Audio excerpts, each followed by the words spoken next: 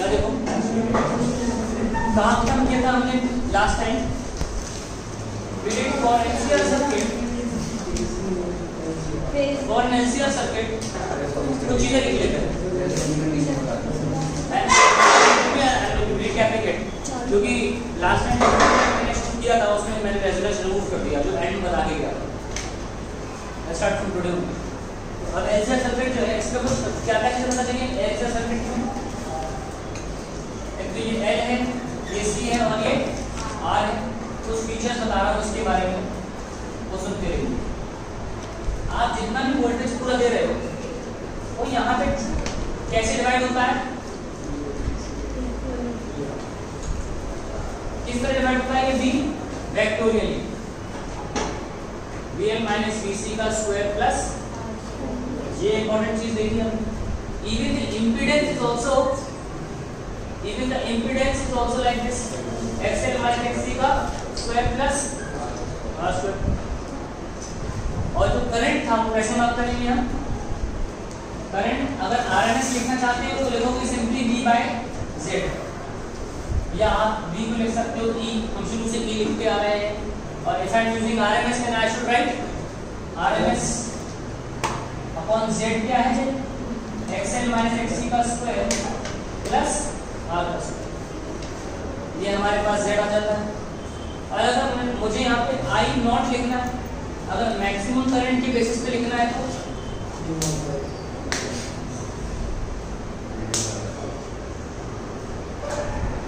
कितना आएगा? E naught upon xl minus xc का स्क्वायर प्लस r का स्क्वायर तो ये सब इंपॉर्टेंट बात होती है हमारे लिए। के लिए लेकिन एक कंडीशन आ जाती है सडनली जहाँ पर तीनों एलिमेंट्स जो भाई अपने अपने तरीके से करंट को अपोज कर रहे हैं, करना बंद कर देते हैं। रेजिस्टर हमेशा करता रहेगा अपोज क्योंकि वो कोलिजन थ्योरी पे डिपेंड करता है करंट जाएगा तो इलेक्ट्रॉन्स आपस में टकराएँगे और वहाँ पे रेजिस्टेंस मिलेगा। कैपेसिटर ग्रोथ ऑफ़ चार्ज को रोकता है, एक बार चार्ज होने के बाद, और इंडक्टर सेल्फ इंडक्शन के द्वारा जब ईएमएफ इंड्यूस होता है उस तरह उस बेसिस उस, उसकी वजह से आने वाले करंट की ग्रोथ को रोकता है। तो दोनों के दोनों अलग तरीके से रेजिस्टेंस दे रहे हैं सर्किट को पर रेजिस्टर जो है वो गर्म होकर दे रहा है। और सारा का सारा डिसिपेशन एक कंप्लीट साइकिल में सिर्फ़ रेजिस्टर के थ्रू ही होता है। केवल रेजिस्टर ही एनर्जी को रिलीज़ करता है पूरी साइकिल में। आप कहेंगे कि इंडक्टर कैपेसिटर नहीं करते। मैं कहूँगा नहीं करते आइडियल कंडीशन और आइडियल कंडीशन एग्जिस्ट नहीं करती। यानी कि आइडियल कंडीशन मतलब कि हमारे इंडक्टर की, इंडक्टर किसका बनता है? कॉपर। क्या कॉपर की रेजिस्टेंस नहीं हो रेजिस्टेंस होती है? बिल्कुल कुछ इम्पोर्टेंट थोड़ी ना है। लेकिन हमें मान के चलते हैं, नहीं होती comparison to the actual resistor तो आइडियल कंडीशन में एक्चुअली हम ये मान के चलते हैं, पूरी साइकिल में एक पूरी साइकिल में कोई लॉस नहीं होता सिवाय रजिस्टर के। एनीवेज जब रेजोनेंस होती है तो एक खास बात सामने आती है। होता है XL equal to X C जब हो जाता है तो हम लोग ये नोटिस करते हैं कि ये तो गायब हो गया। है कि नहीं और ऐसे में एट रेजोनेंस एट रेजोनेंस जब XL इक्वल टू XC हो जाता है I get I naught max यानी कि आई नॉट तो वैसे ही मैक्सिमम करंट था अब आई नॉट का भी मैक्सिमम मुझे मिलता है और वो कितना होता है E naught by R so I am getting the maximum value of current at resonance maximum की भी मैक्सिमम हमने आई नॉट पढ़ा है ना, क्या होता है? सबसे ज़्यादा मैक्सिमम उसका भी मैक्सिमम होता है रेजोनेंस का. इसका हम ग्राफ बनाने चल रहे हैं. इसका हम ग्राफ बनाने जा रहे हैं. इसका graph very important for board exam purpose current amplitude I naught का अंग्रेज़ी में नाम होता है क्या? करंट एम्पलीट्यूड अगर आपसे बोर्ड एग्ज़ाम में पूछे फाइंड द करंट एम्पलीट्यूड आप आई नॉट निकालेंगे. आई आर एम एस नहीं. करंट एम्पलीट्यूड तो हम current amplitude versus omega which is the frequency of the alternating current इसका ग्राफ बनाने जा रहे हैं। वेरी इंपॉर्टेंट ऑब्वियसली यहाँ मैथ की क्लास चल रही कि आपको प्लॉट कर करके ओमेगा की वैल्यू डालना क्योंकि यहाँ पे कांस्टेंट कौन है? यहाँ पे आर कांस्टेंट है एल कांस्टेंट है और सी भी कांस्टेंट है। क्योंकि ओमेगा खोलो को भी क्या मिलेगा? सॉरी एक्सएल को क्या मिलेगा? ओमेगा एल एल तो कांस्टेंट है। ओमेगा सी बोलो एक्स सी बोलो क्या मिलेगा? 1 बाय ओमेगा सी और आर एल सी आर तीनों कांस्टेंट है ना? वो तो बदले नहीं। बदला गया ओमेगा तो ओमेगा को प्लॉट कर करके अलग अलग वैल्यू ले लेकर मैं अगर आई निकालूँगा तो पूरा एक्यूरेट निकल जाएगा। तो हम क्या करने वाले हैं? बाय डिफ़ॉल्ट मानेंगे कि कोई भी कर्व जो इस तरीके के वेरिएशन को फॉलो करता है I naught proportional to 1 times square root of something वो कैसे बनेगा? वो हम ऑल्टरनेट बाय डिफ़ॉल्ट मान के चलेंगे कि मैं जैसा दिखाने जा रहा हूँ वैसा ही बनेगा। हमें सिर्फ़ वेरिएशन को एक्सप्लेनेशन देना ठीक है? आगे बढ़े। आइए सकते हैं बहुत बार बहुत में पूछा जाता है एक्सप्लेन द कर्व तो शुरू करें, देखिए। इसका लिख लिया आप लोगों ने? ये दो फीचर्स बड़े इंपॉर्टेंट थी एक, दो, तीन, चार। इक्वेशन बहुत इंपॉर्टेंट हम आई वर्सेस ओमेगा कर्व बनाने जा रहे हैं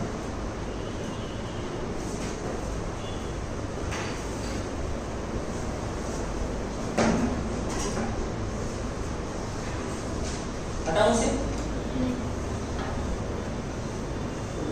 आइए कोई वैल्यू चुन लेते हैं देखना मज़ा आएगा देखने में एक्स सी और एक्स एल इसे बोलते हो वन बाय ओमेगा सी से बोलते हो एक्स ओमेगा एल यस और no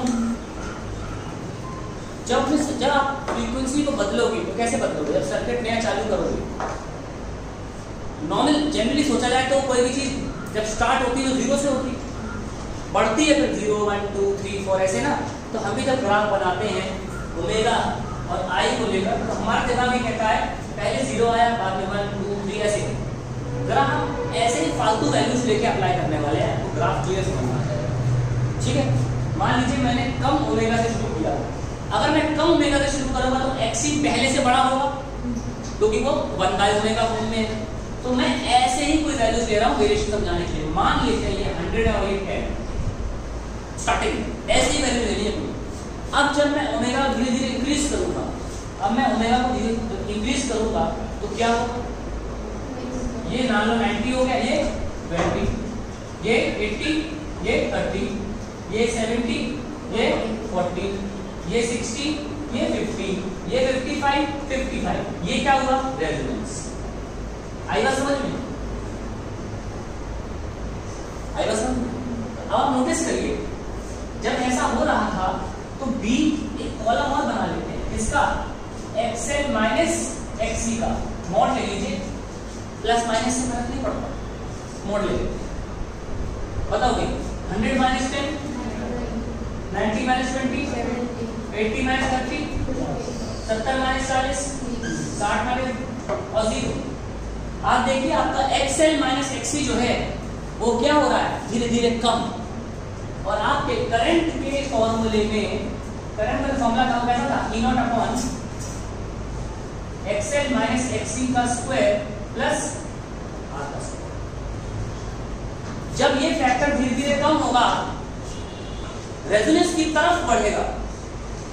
From less omega to higher omega current क्या होगा? इंक्रीज होगा। यस और तो ये रीजन है कि स्टार्टिंग में ऐसे बनता ये बढ़ रहा है करंट क्योंकि जब ओमेगा इंक्रीज किया जाएगा तो एक्स एल माइनस एक्स घटेगा और मेरा करंट बढ़ेगा।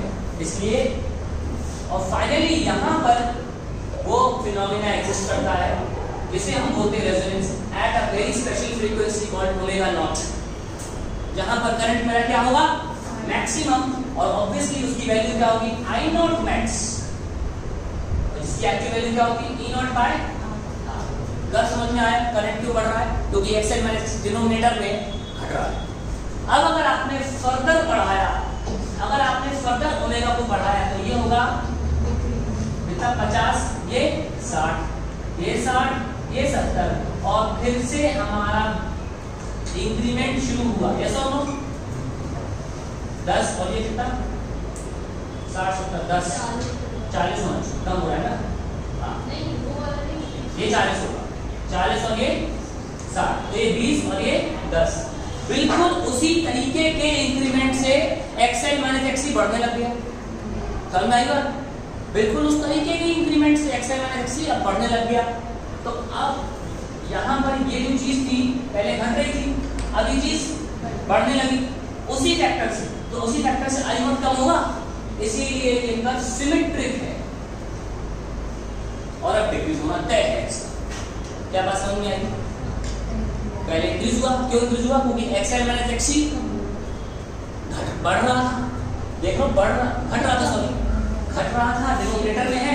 वन बाय रूट एक्स की प्रोपोर्शनैलिटी है। तो आई नॉट बढ़ रहा था। बात उल्टा हुआ। और एग्जैक्टली उसी इंक्रीमेंट से वो बढ़ने भी लग गया एक्स एम सिक्सटी तो उसी फैक्टर से आई नॉट घटने लग गया। इसलिए ग्राफ बिल्कुल सिमेट्रिक जैसा यहाँ, वैसा यहाँ। इसलिए दो अलग फ्रीक्वेंसीज पर आपको करंट से मिलता है। ओके ये बहुत इंपॉर्टेंट बात मैंने बोली है कि इस पे पूरा चैप्टर बैठा हुआ है इस पे।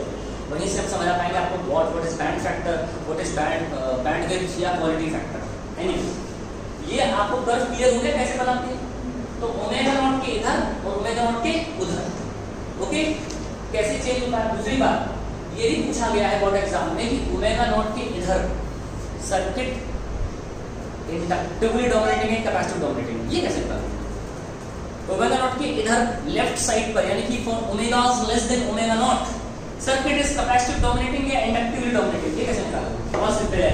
अगर x c ज़्यादा है देखो ओमेगा नॉट के इधर x c ज़्यादा था ना यहाँ पे आ गया ओमेगा नॉट मतलब मैंने इनका एज्यूम किया नहीं अज्यूम नहीं किया था। ये कॉमन सेंस था। अगर ओमेगा कम होगा क्योंकि रिलेशन बन पाए ओमेगा सी है। ओमेगा x ही बड़ा होगा। असल में आई क्योंकि ओमेगा अगर कम है तो x ही बड़ा होगा। क्योंकि x में ओमेगा नीचे आता है। ठीक है ना? ये अज्यूम नहीं है।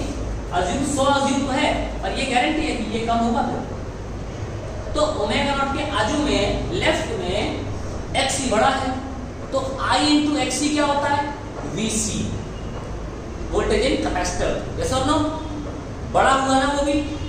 जब वोल्टेज कैपेसिटर बड़ा हुआ तो हमारे फेजर डायग्राम में जब वीसी बड़ा हो जाएगा और वीएल छोटा हो जाएगा, पूरा ग्राफ नीचे बनेगा ना, क्या बोलते हैं इसको? कैपेसिटिव डोमिनेटेड आ रहा समझ में? तो लिखेंगे इसको for omega less than omega naught XC is greater than XC is greater than I XL VC greater than VL therefore capacitive dominating capacitive dominating circuit यानी कि यानी कि इस रीजन में हम बोलेंगे कैपेसिटिव डोमिनेटिंग और एक और और एक और चीज़ बोलेंगे क्या? Current leads. ये सब छोटी छोटी चीज़ें पूछी जाती हैं ग्राफ में से कि omega less than omega naught पे करंट लीड्स वोल्टेज। ठीक है? कैपेसिटिव डोमिनेटिंग सीडी का मतलब capacitive dominating and I leads V for omega less than omega naught. और अगर आपको निकालना है, बाजू के लिए तो आप समझ गए क्या आंसर है। इंडक्टिवली डोमिनेटिंग ठीक है? इधर आएगा आई डी इंडक्टिवली डोमिनेटिंग और वी लीड्स इस ग्राफ को लेकर अभी इतनी बातें काफ़ी है। इधर क्लियर हुआ आप लोग को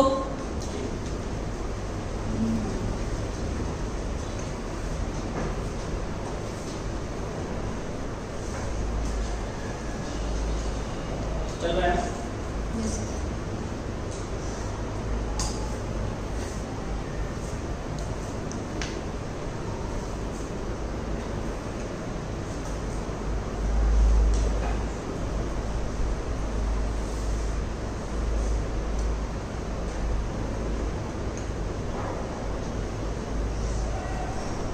इससे three three marks board exam question पूछ चुका है इस बात पे कि करेक्ट क्वेश्चन इस तरह से फ्रेम हुआ था कि tell when is the circuit in the circuit current leads voltage? Voltage leads current और ये पूछा गया था for regions f less than fr, f greater than fr. यहाँ पे f क्यों बोला जा रहा है? कुछ लोग ओमेगा में बात करते हैं, कुछ लोग f में बात करते हैं। f हो जाता है ओमेगा अपॉन कोई ज़्यादा फ़र्क नहीं पड़ता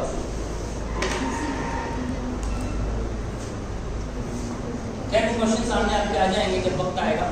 अभी ये मान के चलें कि आपके आने वाले पेपर में मुझे पूरी उम्मीद है चार तारीख को ये क्वेश्चन आएगा। बड़ा फ़ेमस क्वेश्चन है। अगर कोई पेपर बनाने बैठता है किसी मॉड्यूल को किसी लास्ट ईयर के सैंपल पेपर को देख के तो दस में से आठ सैंपल पेपर में ए सी ई एम आई से ये क्वेश्चन मिल, मिलता ही मिलता है। इसलिए आँखों में क्वेश्चन फंस जाना बहुत ऑब्वियस है। इसलिए मुझे पूरी उम्मीद है कि ये जो मैंने लिखवाया है ये वाला कैपेसिटी डोमिनेटिंग इंडक्टिव ऑपरेटिंग या और इस तरह पूछा जाए कौन कौन लीड कौन लैग ये पूछा जाएगा। ठीक है? ध्यान रखना इस बात नहीं मैं बना रहा हूँ तो ऐसी बात करता ठीक है? लिख लिया आप लोगों ने?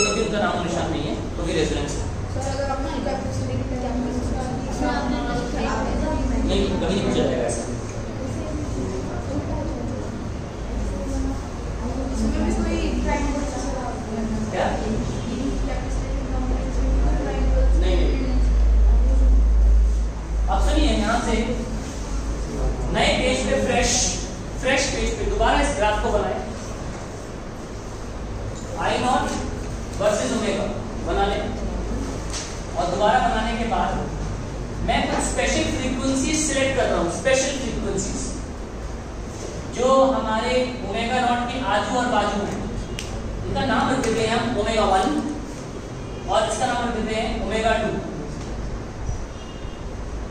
Omega two.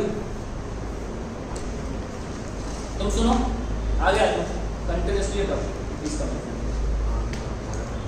आ तो जाओ। आगे हमें पूरा सुनना है। पार्टनर्स की कोई मतलब ही नहीं है इतने सारे। कुर्सियाँ खाली पड़ी हुई हैं। ठीक है तो अब हमने आपके सामने बहुत, देखिए एंटायरली थ्योरी में पढ़ा रहा हूँ आपको शुरू से पहले दिन से, वो बस दिमाग में क्वेश्चन फ़ीड है ये एग्ज़ाम में ऐसे आते हैं। तो इसलिए जब भी कोई चीज़ पढ़ा रहा हूँ, बहुत टू पॉइंट है। कोई फालतू चीज़ें नहीं लिखवा रहा हूँ। जैसा पढ़ा रहा हूँ, वैसे ही क्वेश्चन मिल जाएगा अब मैंने क्या ना किया? ओमेगा वन ओमेगा टू ये कुछ स्पेशल फ्रीक्वेंसीज हैं। इसकी स्पेशलिटी आपको यहाँ पता चलेगी कि इन फ्रीक्वेंसीज पर करंट की वैल्यू क्या होगी? अब बताना हूँ। ठीक है? क्या बोला? ठीक है हम बात करेंगे बाद में साथ में हम एक और ग्राफ बना सकते हैं। पावर का एवरेज पावर वर्सेस ओमेगा हम ये ग्राफ भी बना सकते हैं। और यहाँ पर बैंडविड्थ को समझाने के लिए ये ये ग्राफ ज़्यादा इंपॉर्टेंट है। यानी कि ये यहाँ पर क्या, किसका ग्राफ बन रहा है? आई नॉट स्क्वायर आर का। यस और नो क्योंकि आफ्टर ऑल पावर डिसिपेशन केवल रजिस्टर में होता है। आई नॉट स्क्वायर आर बना रहा हूँ। और यहाँ पर क्या होगा? बोलो I naught square R max sorry I naught max ना आर ये होगा बस मैक्स वर्ड लगाना है तो ये जो फ्रीक्वेंसीज मैंने आजू बाजू मार्क करी हैं, एक यहाँ पर और एक यहाँ पर। ये खास बात ये है, these are the where the power is half of the maximum at resonance ठीक है? यानी कि यहाँ पर P नॉट बाय टू है। कितना भी लिखा हुआ यहाँ पे? I naught max square R by two so omega one and omega two are the frequencies are the frequencies where the power is power dissipated is, power is half of the maximum at resonance. Of the maximum at resonance. ये define करना बहुत ज़रूरी है omega one omega to तो इन frequencies का जो difference है, उसे बोलते हैं बैंडविड्थ क्या बोलते हैं इसे? बैंडविड्थ और यानी कई बार साइड फ्रीक्वेंसीज भी बोलते हैं। क्या बोलते हैं ये दोबारा आएगा कम्युनिकेशन में इसलिए यही समझना ज़रूरी है वहाँ से जाओ वाले वहाँ एप्लीकेशन है इसका omega two minus omega one is called bandwidth and what is the q factor q factor is the ratio of bandwidth sorry ratio of the resonating frequencies to the bandwidth what is the resonating frequency omega naught and what is the bandwidth omega 1 minus omega 2 सबको याद है resonating frequency का formula था 1 by root LC तो कर दिया था मैंने। अभी इसको डिराइव करेंगे मतलब इस, ये तो डिफाइंड है, ये डिराइव नहीं होता, ये डिफाइंड है। फिजिसिस्ट ने फॉर्मूला डिराइव करके नहीं दिया, ये डिफाइन करके दिया। कई बार फॉर्मूला डिफाइन करके होते हैं, पर डिराइव करके होते हैं। अब इस फॉर्मूले की मदद से क्यू फैक्टर के इस डिफिनेशन की मदद से हम इसका डेरिवेशन करेंगे, और फॉर्मूला होगा 1 upon R square root of L upon C is Q factor को जब डिराइव करते हैं, ये डिफाइन है, इसका डेरिवेशन ही है। तो क्या हो गया one upon R square root of L by C ये डिराइव हो जाएगा थोड़ी देर के बाद। लेकिन ये जो लेफ़्ट में लिखा है डेफिनेशन है। तो कोई क्यू फैक्टर पूछे, क्या बोलेंगे?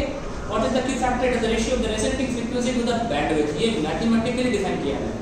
अगर आपको क्यू फैक्टर को फिजिकली डिफाइन करना है तो आप बोलेंगे it is the sharpness of the curve क्यों बोला मैंने sharpness of the curve it is the measure of the sharpness of the curve दिखाऊँ देखिए एक और कर्व बनाया जा सकता है। ऐसा। यस और नो दोनों ही कर्व में मैंने एल और सी को चेंज नहीं किया है। तभी तो X L minus X C अभी भी सेम जगह पर ज़ीरो हो रहे हैं ना।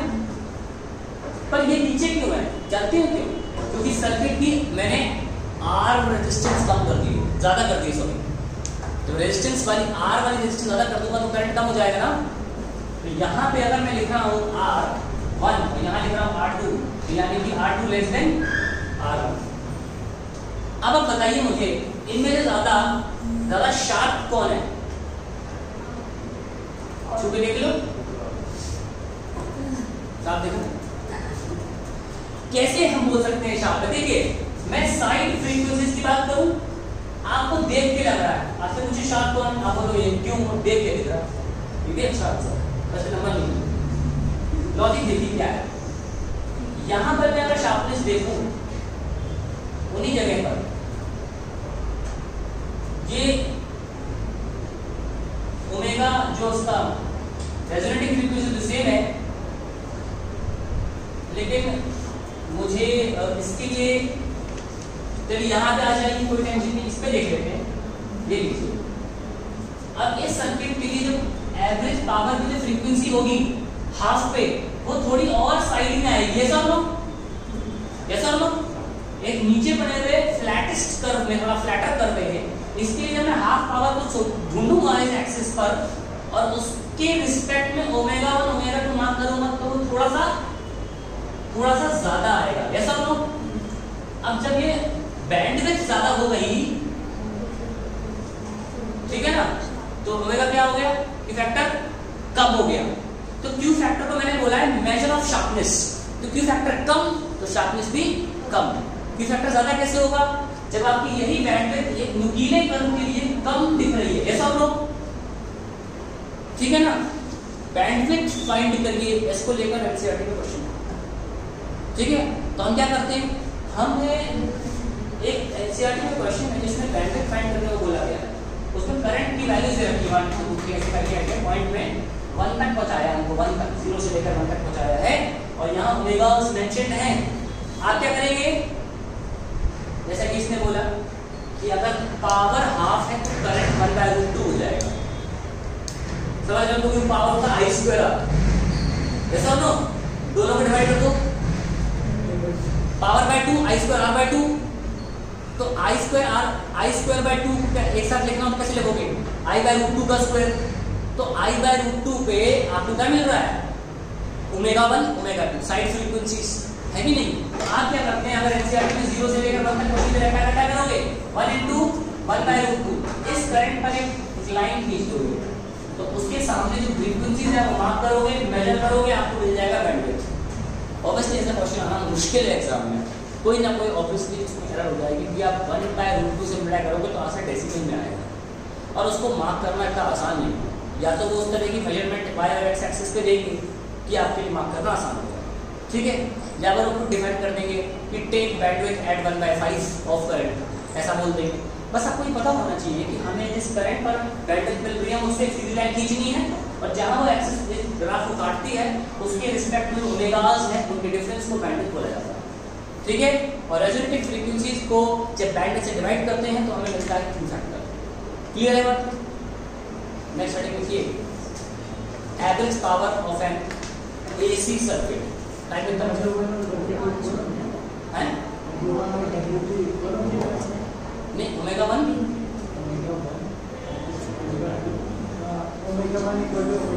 कभी नहीं हो सकता ना। बेटा ओमेगा वन तो छोटा है।